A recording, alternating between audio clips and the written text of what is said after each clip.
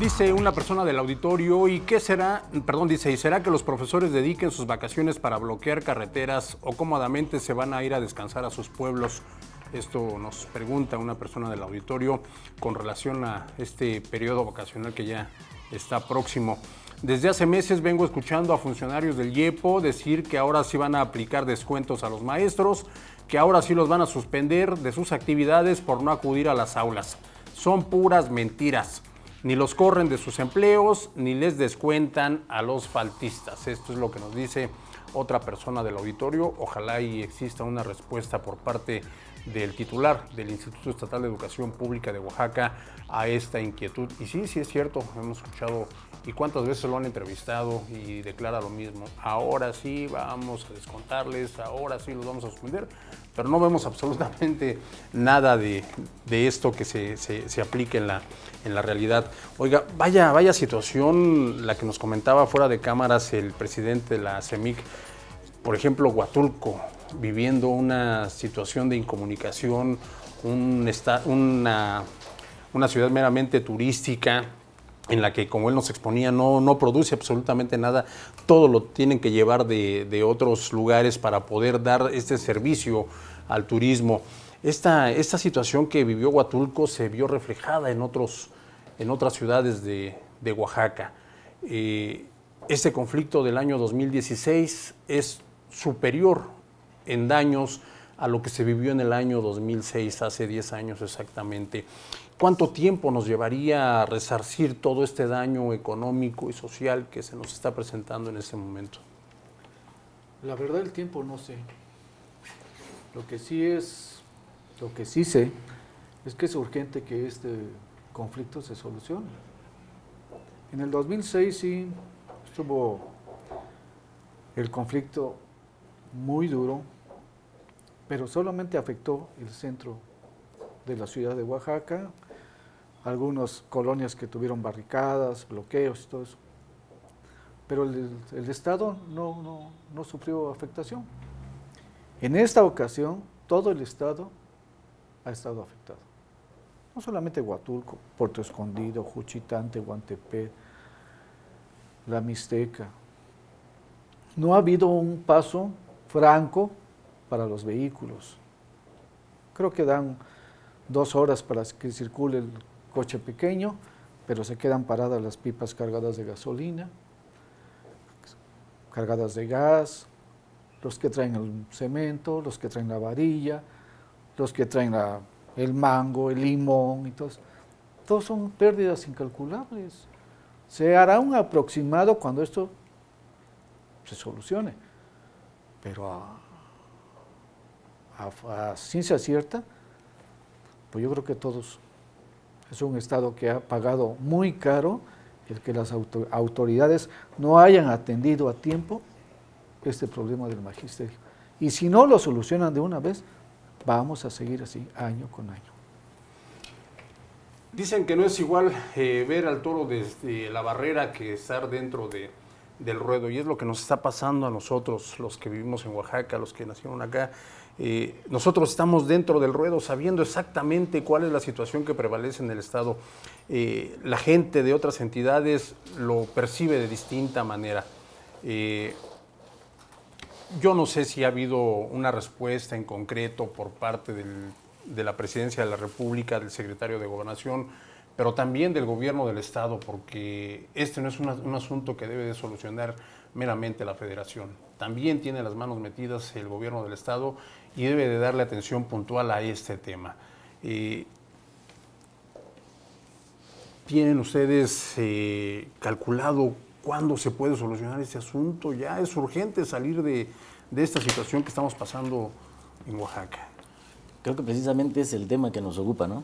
El tema de buscar y solicitar, exigir la atención inmediata de los gobiernos, tanto estatal como federal porque a final de cuentas para el sector de nosotros y para todo el sector productivo no hay fechas.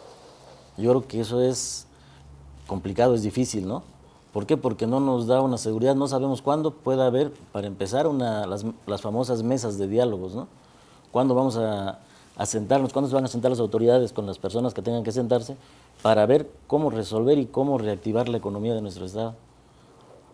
Entonces yo creo que e, esa es la solicitud principal, ¿no? uno de los principales temas, de que se, que se aboquen los gobiernos a resolver esto y que ya fijen fechas de cuándo se va a resolver esto, en qué forma se va a resolver. Buscar la mesa del diálogo con el magisterio, que creo que es lo fundamental, ¿no? Arreglar ese tema para de ahí seguir con las mesas de cada uno de los sectores, porque ahorita el, el sector productivo está muy afectado y es en todo el Estado. Y esta información, pues yo creo que no llega a los gobiernos, porque pareciera que ellos no saben lo que realmente está pasando. ¿no? Nosotros que estamos acá, sabemos lo que está pasando en nuestro Estado. No, no, no tan cierto porque es difícil estar trasladándose por los comentarios, por las informaciones, por los medios. Pero en el, en el gobierno este, federal, ¿qué información tienen o qué desinformación hay? ¿no? Entonces yo creo que es muy importante darle seguimiento y llevar esta información por medio de los representantes de todo el sector productivo, que es lo que comentaba el presidente que, que se viene realizando, pero igual de manera muy, muy lenta, considero. Parece ser que los enemigos de los oaxaqueños son estos organismos, eh, estos grupos de poder que siguen insistiendo en conservar estas canonjías, estos privilegios, en seguir viviendo del presupuesto del, gobierno del Estado. ¿Cuánto daño le hacen a Oaxaca? ¿Cuánto daño le hacen a las empresas? ¿Cuánto daño le hacen a la gente trabajadora, a la gente que intenta día con día salir adelante? Totalmente. Mira, fíjate que precisamente yo creo que esa es la parte que ahorita tenemos nosotros la obligación de que la ciudadanía conozca precisamente lo que está sucediendo. Y por eso es que hemos pedido que todo el mundo primero tenga la información para que pueda tener conocimiento y pueda participar. Por otro lado, también creo que es un compromiso del gobierno del Estado y de sus funcionarios a que este conflicto verdaderamente se termine y que intervenga. Vemos que no han intervenido como debería ser. Y por supuesto, también hay falta de atención para eh, los organismos económicos de Oaxaca. Yo creo que este es un compromiso que no deben soslayar, antes al contrario, deben de entrar y participar y comunicar a la población qué está sucediendo.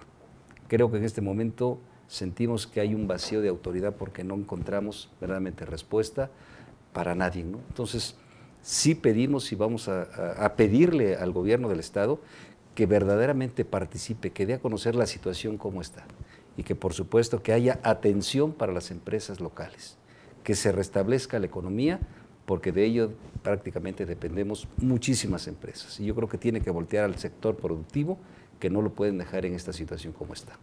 Recapitulamos con estos datos duros que nos comparte el presidente de la Cámara Mexicana de la Industria de la Construcción, el arquitecto Orlando Emilio Hernández, la cuarta economía nacional, la industria de la construcción.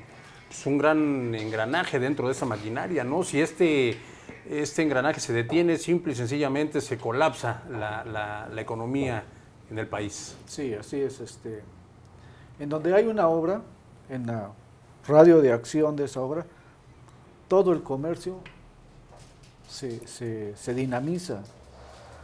Vende la señora que vende los chiles, la que vende los tacos, la que vende las tortas, el pinero, el materialista, el de que te vende la arena, que te vende la grava. O sea, en donde hay una obra, inmediatamente se ve que hay este, dinero circulando. Porque a la hora de la comida de los chalanes, de los peones, salen a la tiendita de la esquina a comprar la sardina, a comprar la lata de chiles, las galletas. O llegan las señoras que venden la torta, el taco. O sea, es un dinamismo económico terrible. Ahora, si lo multiplicamos por todas las empresas que existen en Oaxaca y en toda la región, pues es lógico que somos la cuarta a nivel nacional que produce. Y además, en caso de Oaxaca, nosotros, que somos oaxaqueños, pues el dinero que cobramos, que pagamos, pues aquí se queda en Oaxaca, no se va a otro estado. Entonces, por eso solicitamos que la obra que se haga en Oaxaca debemos hacerla los arquitectos y los constructores oaxaqueños. Si es que queremos que nuestro estado otra vez vuelva a florecer. Y la verdad urge, urge volver a, reactivar la economía en Oaxaca y continuamos con esta recopilación de datos duros que nos hacía eh, saber el arquitecto Orlando Emilio Hernández. 18 mil empleos directos, los que genera la industria de la construcción, 750 mil empleos indirectos, los que también genera esta industria, pues son, es todo un mundo de, gente la que está en riesgo de no poder obtener eh, por lo menos eh, lo más esencial para llevar a sus familias. Así es. Eh, hablamos de 183 mil empleos directos. 180, perdón, sí, 183 mil, no, 18 mil, exactamente. Sí, 183 mil. ¿no? Eh, comentaba el arquitecto Círigo que la industria de la construcción es la cuarta fuerza económica en, el país. En Oaxaca debe ser el segundo, porque en Oaxaca no hay industria. Entonces la mayor parte de la derrama económica es por el medio del sector de la, de la construcción. Entonces, definitivamente eso nos muestra la importancia, la importancia de, lo que puede reactivarse por medio de la atención a este sector, por medio de la atención de, la, de las obras, ¿no? de, de, reactivar, de resolver el, conflicto y pues ahora sí que ponerse a trabajar. Ponerse a trabajar porque al Estado, a la gente, a los 750 mil personas que dependen de este sector, pues ellos no tienen un ingreso seguro, no tienen un, un salario fijo, ¿no? Exacto. Dependen de que estén, que haya obra, que haya trabajo para que cobre. Entonces yo creo que es importante para subsanar los gastos de su familia, ¿verdad? Claro que sí. Pues ojalá y los actores involucrados en este tema cedan un poco porque parece ser que de una parte quieren todo y no están dispuestos a, a, dar absolutamente nada, ¿verdad? Ojalá y este tema lo tengamos ya próximamente eh, en una mesa en donde podamos decirle ¿sabe? Ya llegó a su final y esto es de, manera definitiva. Muchísimas gracias, auditorio, por el favor de su atención. Muchísimas gracias a nuestros invitados, al arquitecto Orlando Emilio Hernández Montes, presidente de la CEMIC, al arquitecto Felipe Palacios y Baja, vicepresidente de este mismo organismo, al licenciado José Luis Tobar Galguera, también vicepresidente, y al arquitecto Eduardo Alberto Cirigo Hernández, vicepresidente de la CEMIC. Muchísimas gracias a todos ustedes por acompañarnos hoy a Espacio Ciudadano. Auditorio, lo invito para que el miércoles, 12 horas del día, canal 152 de Easy, nos veamos aquí en este programa de televisión. Hasta entonces, muchísimas gracias.